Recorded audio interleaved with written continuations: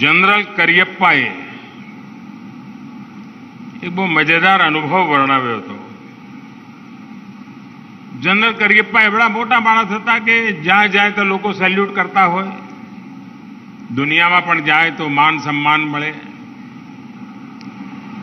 એકવાર એમના ગામના લોકોએ જનરલ કરિયપ્પાના સ્વાગતનો કાર્યક્રમ ગોઠવ્યો.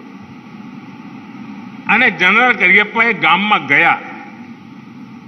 અને તેમણે કહ્યું કે દુનિયામાં હું એટલો બધો મારું સ્થાન બન્યું છે કે એના કારણે મારા સ્વાગત, સન્માન, સલામ બધું સ્વાભાવિક છે. પરંતુ જીવનમાં પહેલી વાર જ્યારે મારા ગામના લોકો મારું સંજ્ઞાન કરે ને, મને એક આનંદ, આનંદની અનુભૂતિ થાય.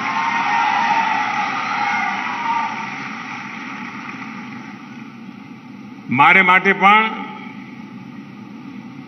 સમાજના ચરણોમાં આવવું, એમને વંદન કરવા અને સમાજના આશીર્વાદ લેવા એ ધન્ય ઘડી છે. અને એના માટે હું આપ સૌનો આભારી છું. મને યાદ છે, તમે મને અહીંયા શિલાન્યાસ માટે આગ્રહ કર્યો હતો, હું આવ્યો હતો. એ વખતે પણ આ નરહરીભાઈ બેઠા હતા મંચ પર. કારણ કે આપણા પડોશી છે. અને મંચ ઉપરથી અડધો કલાક એનાઉન્સમેન્ટ કરીને પરોજણ ચાલતી હતી. દાતાઓ દાન જાહેર કરે, દાતાઓ નામ બોલે. અડધો કલાક કરી પણ કે બહુ લાંબુ થયું નહીં. એટલે નરહરીભાઈ મને કહ્યું કે સાહેબ અમારો જો સમાજ હોય ને, તો આટલી મિનિટમાં તો સો કરોડ ભેગા થઈ ગયા હોય.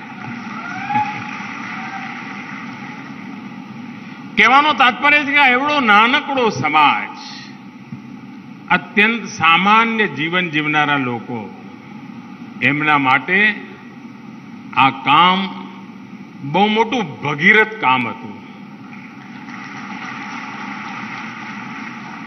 સમાજના અનેક સમૃદ્ધ એકમોને કદાચ એમના માટે આ ડાબા ખેલ હશે. પણ આ સમાજ માટે આ પણ જબરજસ્ત મોટું ભગીરથ કામ હતું અને હું તમને અભિનંદન આપું છું કે તમે એને સાકાર કરી. એ વાત સાચી છે ટાઈમ ટેબલ પ્રમાણે ના થયું. કારણ સાંધા જરા ટૂંકા પડતા હશે.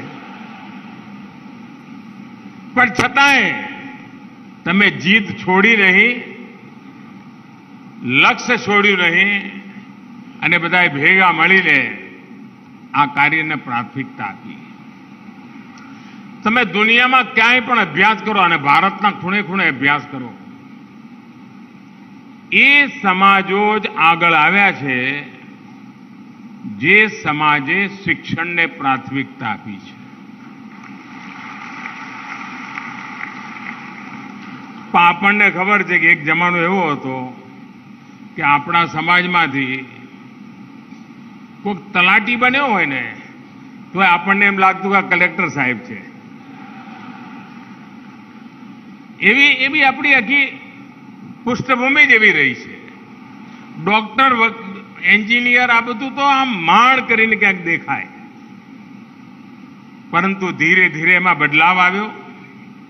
આજે સમાજમાં પોતાની મેળે આગળ આવનાર લોકો આપણી નજરે ચડે છે. અને આ જ બધી શક્તિઓ આખરે સમાજની તાકાત બનતી હોય છે. અને તમે આ કોઈ પણ કામ કરવાને બદલે શિક્ષણની વ્યવસ્થા ઊભું કરવાનું કામ કર્યું. ભલે આપણે મોડા પડ્યા, પણ દિશા સાચી છે. રસ્તો આપણો સાચો છે. અને આ જ રસ્તે સમાજનું કલ્યાણ શક્ય બનશે. બીજો આપણો સમાજ વેર વિખેર. એક તો ગામો ગામ પથરાયેલો હોય, બે પાંચ ઘર હોય, એટલે ખાસ કંઈ નોંધ કોઈ લે નહીં. અને અમે આમાં આ સમાજનો સ્વભાવ રહ્યો છે, તમે ગુજરાતના જાહેર જીવનમાં ક્યારેય ન સાંભળો કે આ સમાજ કોઈને નડ્યો હોય.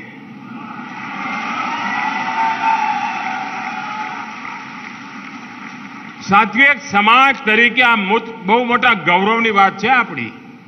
તકલીફો વેઠી હશે, અપમાનો સહન કર્યા હશે હકનું જતું કરવું પડ્યું હશે અને તેમ છતાંય ક્યારેય કોઈને નડ્યા નથી.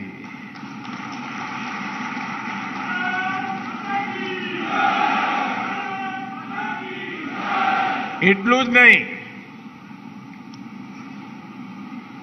જ્યારે મને હમણાં પ્રવીણભાઈ કહ્યું કે મને આયા હતા, મેં કહ્યું આ શું બધું? આ કાંઠાના અલગ ને અમદાવાદ વાળા અલગ ને ઉત્તર ગુજરાત અલગ ને હુરત અલગ ને આમાં કાંઈ ભેગું કરી શકો એમ છો?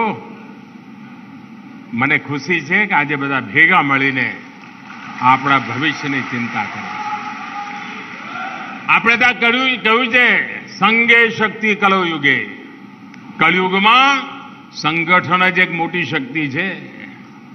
બાકી બધી શક્તિઓ પછી સમાજ સંગઠિત હોય, પણ એ રાજકીય કાવા દાવા માટે નહીં, કોઈને નડવા માટે નહીં સારું કરવા માટે અને આ સમાજે કરી બતાવશે એ મારી પૂરી શ્રદ્ધા છે.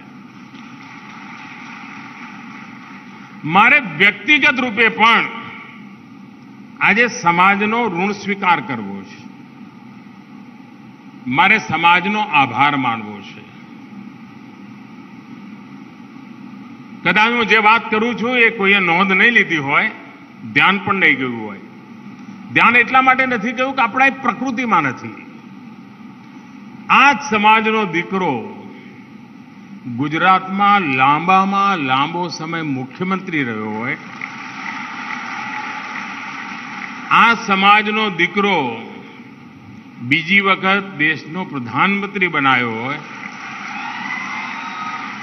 આટલો લાંબો ગાળો રહ્યો હોય, પરંતુ મારા લાંબા ગાળાના વહીવટના જવાબદારીઓ વચ્ચે પણ મારે આજે ઋણ સ્વીકાર કરવો પડે કે આ સમાજનો એક પણ વ્યક્તિ, એક પણ કામ લઈને મારી પાસે આવ્યો નથી.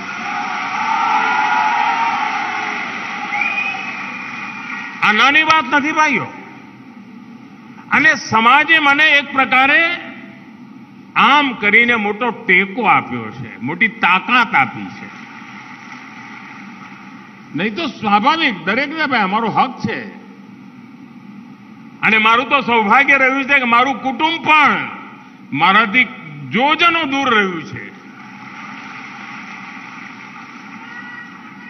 અને એના કારણે સમાજને જેમ આપણે ક્યાંય નડ્યા નહીં, એમ મારે પણ કોઈને નડવું ન પડ્યું.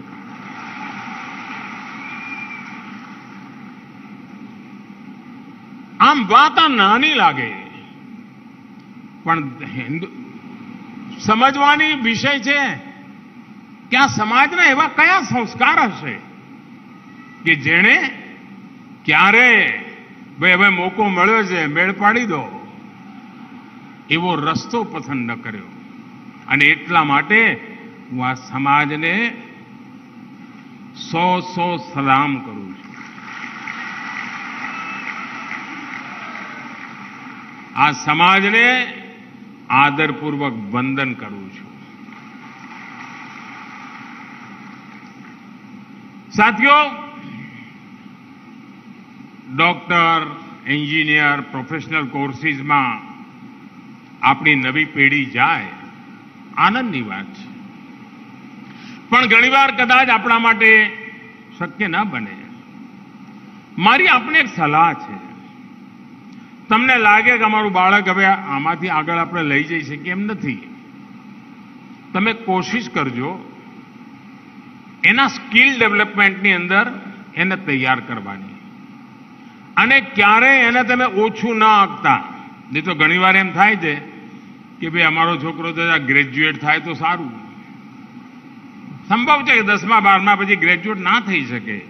પણ જો સ્કિલ ડેવલપમેન્ટ હશે, હુનર હશે એક વર્ષ બે વર્ષનો સ્કિલ ડેવલપમેન્ટનો કોર્સ કર્યો છે, તો એને ક્યારેય પાછા વળીને જોવું નહીં પડે. યુગ બદલાઈ રહ્યો છે દોસ્તો. ડિગ્રી વાળા કરતા હુનરવાળાની તાકાત વધવાની છે. આ કૌશલ્ય પ્રાપ્ત કરીએ. એ સામર્થ્ય પ્રાપ્ત કરીએ. અને આપણા બાળકોને પ્રોત્સાહિત કરીએ. મને યાદ છે એકવાર સિંગાપુરમાં મારો કાર્યક્રમ હતો, તો સમયની ખેંચ હતી જેમાં આજે મને આમ તેમ કરીને માણ કરીને હું અહીં સુધી પહોંચીને હમણાં જામનગર જવું છે. ભરૂચ અને આણંદ કરીને પહોંચ્યો છું ને હમણાં અહીંથી ભાગીશ હું એવું એકવાર હું સિંગાપુર ગયેલો, મારો બહુ ટાઈટ શેડ્યુલ હતું. પણ તેના પ્રધાનમંત્રીનો બહુ આગ્રહ હતો કે નહીં નહીં, મારી તમારી એક ઇન્સ્ટિટ્યૂટ જોવા આવવું જ પડશે એમના પોતાના પાર્લામેન્ટરી કોન્સ્ટિટ્યુન્સીમાં એક એમણે સંસ્થા બનાવેલી હતી. સ્વાભાવિક છે, મારા બહુ સારા મિત્ર છે પ્રધાનમંત્રી, મેં જરા એડજસ્ટ કર્યું, મેં ચાલો, આપણે જઈશું. અને હું ત્યાં ગયો. નાનકડી આઈટીઆઈ એમણે બનાવી છે. આપણે ત્યાં જેને આઈટીઆઈ કઈ એવી. સિંગાપુરના વડાપ્રધાને, પોતાના વિસ્તારમાં. પરંતુ ગયા પછી મેં જોયું કે એવી ભવ્ય અને એટલી આધુનિક પછી એમણે મને કહ્યું, પહેલા અમારા દેશમાં, સિંગાપુરમાં બધા આઈટીઆઈમાં ભણો છે એવી વાત આવે ને, તો એમ બધા લોકો કે, આ તો કશું છે નહીં, આ તો કંઈ આવડતું નહીં, એટલે અહીંયા ભણતો હશે. ત્યાં એડમિશન નહીં મળ્યું એટલે ભણતો હશે. એની કોઈ કિંમત નહીં.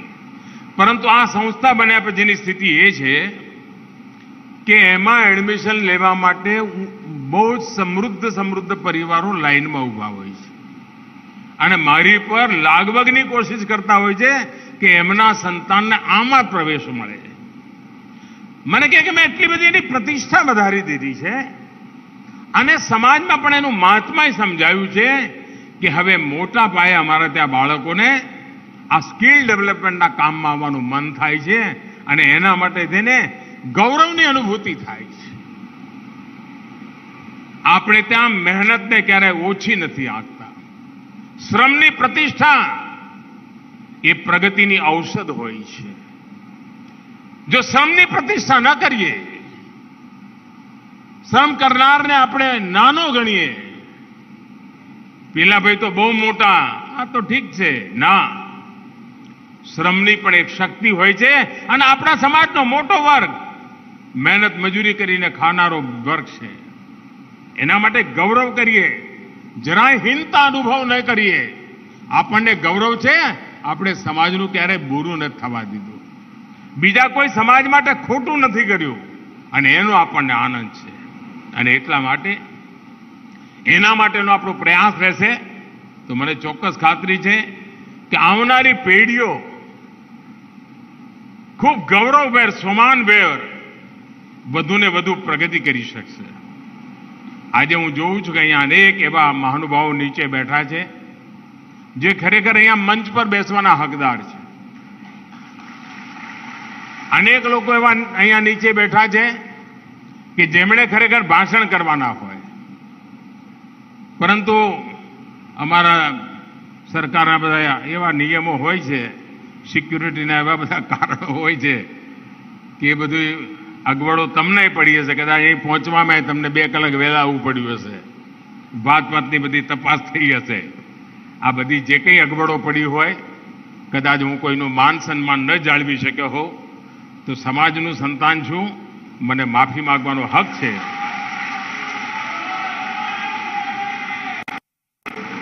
આપે મને બોલાવ્યો, આપની વચ્ચે આવવાનો અવસર મળ્યો. જે દાતાશ્રીઓએ આ એક ઉમદા કામને મદદ કરી છે. એમનો પણ સમાજ માટે આ વેગ ધરવા માટે હૃદયથી અભિનંદન આપું છું. ખૂબ મોટું કામ કર્યું છે. સમાજ ક્યારેય તમારું ઋણ ભૂલશે નહીં. આપનો ફરી એકવાર ખૂબ ખૂબ આભાર. ધન્યવાદ.